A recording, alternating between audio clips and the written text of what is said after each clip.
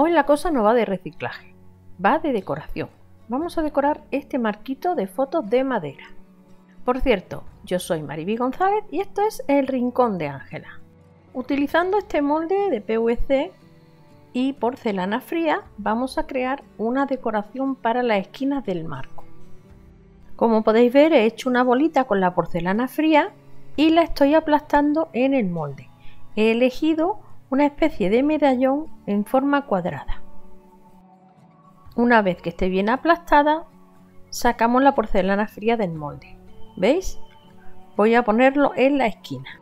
De la misma forma voy a hacer otros tres cuadraditos más para cada una de las esquinas. Así decoraré las cuatro esquinas del marco de fotos. Por cierto, no lo he dicho, pero podéis utilizar porcelana fría casera o comercial, da igual. Con cola blanca voy a pegar cada uno de los cuadraditos en la esquina del marco. Un detalle, si el marco de fotos que vais a decorar fuera redondo, pues tendríamos que elegir eh, adornos o medallones redonditos. Este cuadrado es que queda muy bien para las esquinas.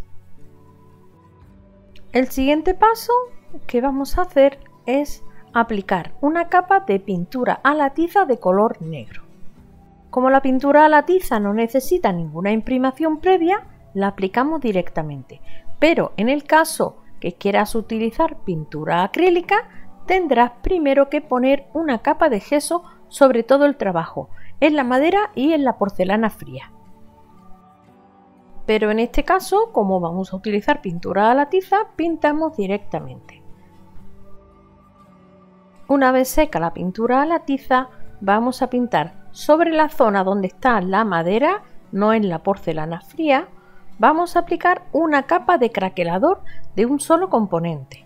Ya sabéis que este craquelador va encima de la pintura y después, una vez seco, aplicamos otra capa de pintura encima del craquelador.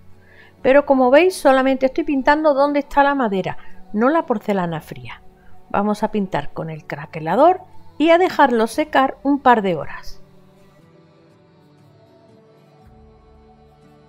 Ya se ha secado el craquelador. Ahora vamos a utilizar un pincel con las cerdas duras. Con pintura acrílica de color azul claro vamos a hacer la técnica del pincel seco sobre la zona donde hemos puesto la porcelana fría para resaltar el relieve. Toquecitos suaves, muy poca pintura para realzar la porcelana fría. Como veis simplemente para darle un poquito de color. Hacemos esto en los cuatro medallones de porcelana y una vez coloreadas las cuatro esquinas de el marco, la porcelana fría, vamos a proceder a aplicar la pintura sobre el craquelado. Utilizamos un pincel diferente, un pincel de cerdas suaves y vamos a aplicar la pintura poco a poco muy suave sin apretar, intentando no pasar dos veces por el mismo sitio. En este caso tengo que, que aplicar digamos dos líneas de pintura porque es una pintura muy clarita, pero pinceladas muy muy suaves para no arrastrar el craquelador. Vamos a ir dando color a toda esa zona donde habíamos puesto nuestro componente para craquelar. También quiero pintar con este mismo azul claro las esquinas interiores, ya que creo que le dan más luz que con el color negro, pero simplemente pinceladas muy suaves sin apretar para no mover el craquelado. Y también las esquinitas de la porcelana fría. Pero ya os digo, unas pinceladas muy muy suaves para no mover la pintura, ¿veis? Voy pintando las esquinitas muy suavemente. Estos pequeños detalles son los que hacen que una manualidad esté bien terminada o por el contrario sea una chapuza. Hay que tener en cuenta los detalles. La parte de atrás la había pintado de negro, pero veo que queda mejor del mismo azul que he pintado la parte de delante. Así que aprovechando la pintura que me queda, voy a pintar la parte de atrás en azul. Esto ya es opcional, si a ti te gusta en negro, no pasa nada. Yo es para aprovechar la pintura que me ha quedado y porque creo que va a quedar mucho mejor. Vamos a meter el pincel por todas las esquinitas para que nos quede muy curioso, no quede ningún fallo en la pintura y nos queda alguna esquinita sin pintar. Ya se ha secado la pintura y ahora para decorar vamos a utilizar esta servilleta tan preciosa que tiene un montón de tonos de azul. Azul, verde, lila. Voy a medir el trocito que me ocupará para decorar esta parte. Lo voy a medir y lo voy a recortar para pegarlo y que quede justo. Una vez recortados los cuadritos le quitaré las dos capas blancas de detrás a la servilleta y me voy a quedar con la capa decorada. Ya tengo preparado el papel, fijaros lo he cortado a la medida de la zona que voy a decorar y ahora vamos a aplicar pegamento para decoupage por encima de la servilleta para que se quede pegada.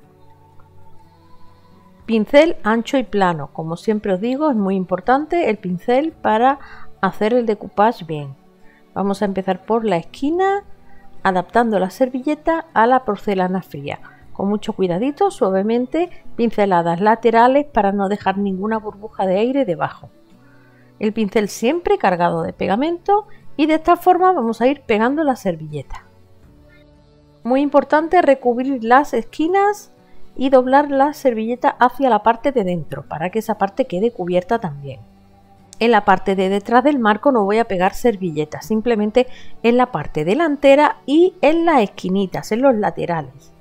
Hacemos lo mismo, en esta esquina vamos a colocar la servilleta y aplicamos el pegamento por encima suavemente sin apretar, pinceladas cargadas de pegamento para no romper la servilleta y las remetemos por dentro para que quede bien pulido las esquinas.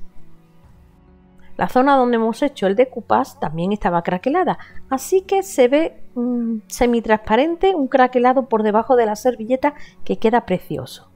Una vez seco el decoupage, vamos a coger una lima de uñas y vamos a cortar el papel sobrante. Vamos dando eh, pequeños toques suavemente en la esquina para ir rompiendo la servilleta. ¿Veis que fácil? Pero importante, esto hay que hacerlo con la servilleta y el decoupage seco. No podemos hacerlo con la servilleta mojada con el pegamento, si no se nos va el trabajo al traste. Con esta cera blanca nacarada voy a aplicar pequeños toques sobre la porcelana fría para darle un brillo metálico que le va a quedar genial. Voy a dar también un poquito por encima de la zona craquelada y lo voy a extender con el dedo. Este efecto también podéis hacerlo con el pincel seco, muy poquita, muy poquita pintura, con un pincel de cerdas duras y la pintura muy extendida. Vamos a dar este toque de plateado nacarado en las esquinitas mayormente y también en la porcelana fría. He utilizado este blanco nacarado, pero ahora que lo pienso podía haber puesto color cobre, metalizada, oro, plata, bueno, podéis utilizar el que tengáis, no tiene por qué ser este blanco nacarado, que yo creo que con otros colores metalizados también queda bonito.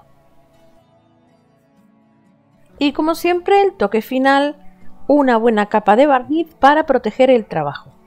Dependiendo de tu gusto, si te gusta más brillante o menos, eliges el barniz. Yo siempre o la mayoría de veces utilizo el satinado, que da un pequeño toque de brillo pero no demasiado brillante. En cuanto a, barnices, pues tenéis el mate, el satinado, el brillante y el muy brillante. Bueno, y el de brillo cerámico, que eso ya es un espejo. Así que, como he dicho, lo dejo a vuestro gusto. Y una vez seco el barniz, aquí tenemos el trabajo terminado. Fijaros qué bonito el craquelado, el decoupage, el efecto metal, en fin. Espero que te haya gustado. Si es así, déjame un comentario dale a like y no olvides compartir este vídeo en tus redes sociales porque así me ayudas a que este canal siga creciendo. Recuerda que te dejo el enlace a todos los productos que utilizo en la cajita de información del vídeo debajo donde pone mostrar más y también un código de descuento para que tus compras te salgan un poquito más económicas. Y nada más, ya me despido, un beso enorme y nos vemos en el próximo vídeo. Hasta pronto amigos.